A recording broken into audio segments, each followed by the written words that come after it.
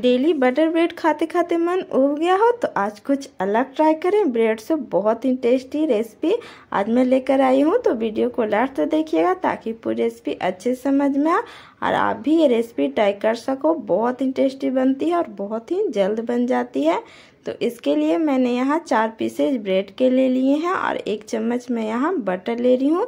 इसकी क्वांटिटी अपने स्वाद के अनुसार आप कम या ज़्यादा ले सकते हो।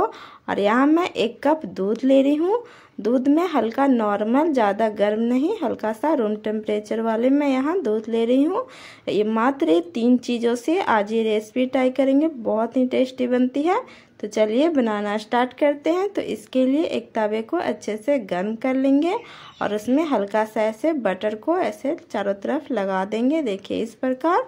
और इसके ऊपर ब्रेड को, देखिए इस प्रकार हल्का सा गर्म कर लेंगे। तो दोनों तरफ़ बटर लगाते हुए ब्रेड को मैं अच्छे से गर्म करूँगी। तो सुबह के आप भाग दौड़ में भी आप इसे ट्राई कर सकते हो। बहुत ही जल्द बन जाती है। मात्र पाँच मिनट में ये रेसिपी बनकर रेडी हो जाएगी और सबको बहुत ही पसंद आएगी। बच्चे भी बहुत चाव से इसे खा लेते हैं। तो देखिए इस प्रकार मैं बटर लगाते हुए चार पीसेज को रेडी कर लूँगी। तो देखिए मैंने यहाँ चार पीसेज में बटर लगा लिए और इसे एक साइड में ऐसे एक के एक ऊपर इसे रख देंगे।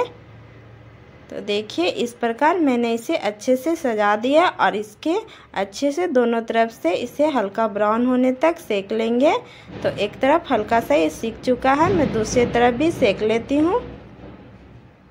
तो देखिए, दोनों तरफ़ से हल्का रेड हो चुका है। इसके ऊपर मैं अब दूध डालूँगी।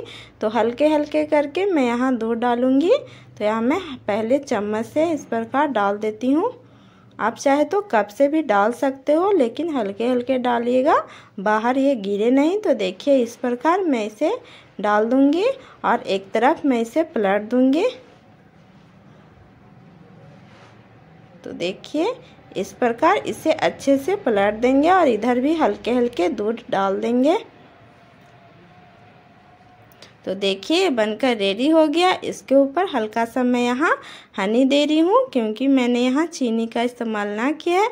तो इस प्रकार ये हेल्दी के साथ बहुत ही टेस्टी बनकर रेडी हो गया।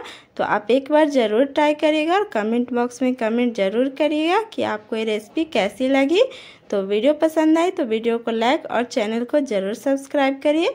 साथ ही बेल आइकन को भी ज़रूर दबा दीजिएगा, जिससे आने वाले हर वीडियो की नोटिफिकेशन आपको मिलती रहेगी। तो मिलते हैं ऐसे ही नई रेसिपी के साथ। तब तक के लिए बाय बाय